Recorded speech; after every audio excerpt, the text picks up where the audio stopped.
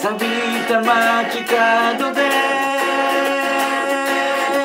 日だまり探してしかめ面で歩いた。汚れ犬の眉毛大切にしてた。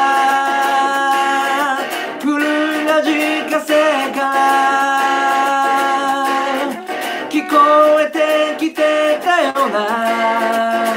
実はよくあるストーリー。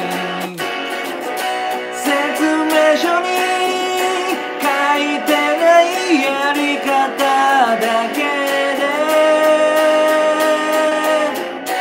憧れに近づいて伝えたい言葉が溢れそうなほどあっただけど愛しくて忘れちまった。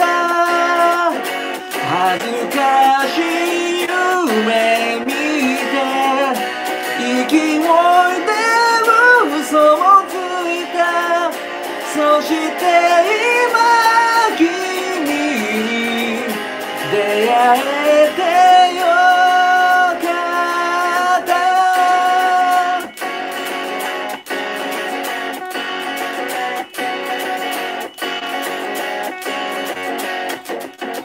オレンジ色の空名前を呼ばれて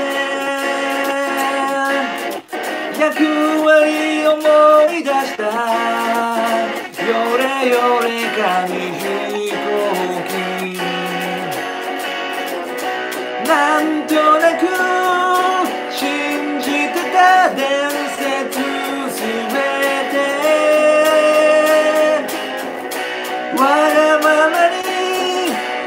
じ曲げて。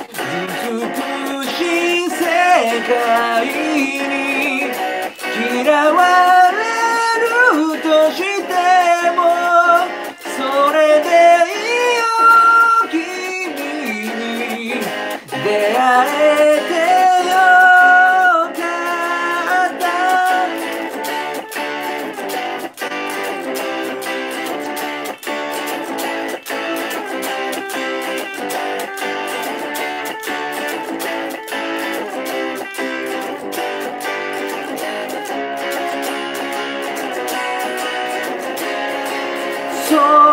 だ伝えたい言葉が溢れそうなほどあっただけど愛しくて忘れちまう